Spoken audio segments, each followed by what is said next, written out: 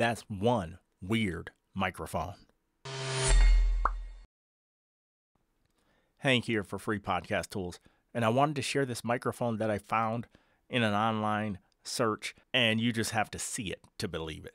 Here we have the Yamaha AG01 live streaming USB condenser microphone.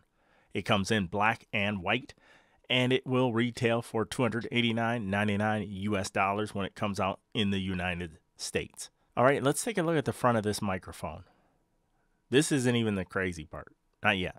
We have the mute button. We have this knob here, which I'm assuming just controls the volume. Maybe potentially could control the level of reverb when this reverb button here is clicked in. Then down below, we have a music volume button or mix button, and then the headphone volume button. Now let's go to the back of the unit. On the back, we have mic gain, low, mid, high, and then a, a very interesting group here, streaming out.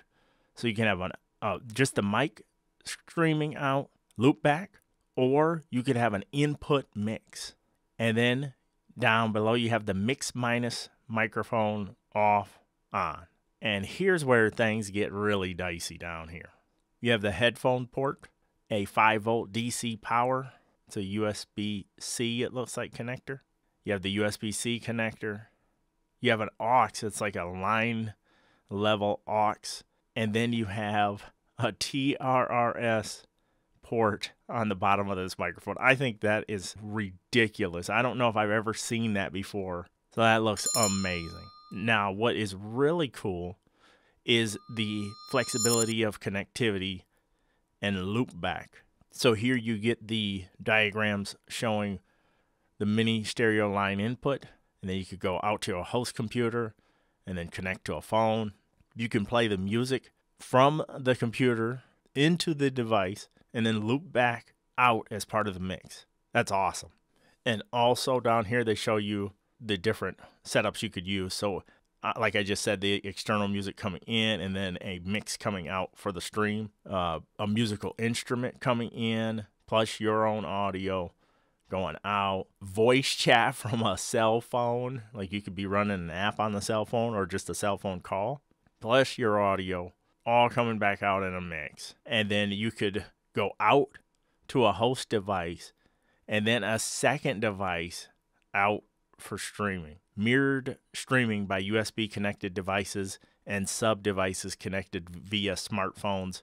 Four pole mini input output, which we call TRRS. Just to, in my opinion, this sounds pretty cool. You're able to get 192 kilohertz and 24 bit audio. It has its own desk stand, but you can mount it on a boom arm as well. I find it funny that I have the Blue Compass and that's what it's mounted to. So it comes with software, not just the reverb and stuff, but you get software bundled with it like Cubase, Record and Share. You also get the reverb setting, compression. It's got a lot of features on it. I am very stunned. At one, that it's coming from Yamaha. Outside of mixers and stuff, I really don't see them doing a lot of stuff, especially in live streaming and podcasting. But this is really well conceived. I don't know about the look per se.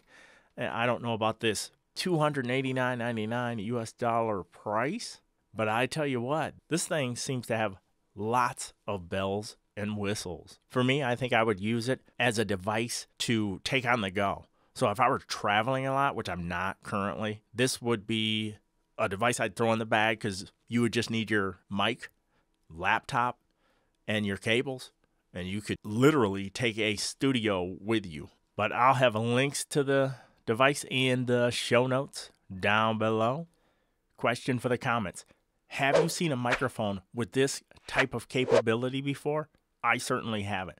But if you have, or if you've seen a microphone that's even weirder than this one, please comment down below in the comments with the make and the model of that microphone.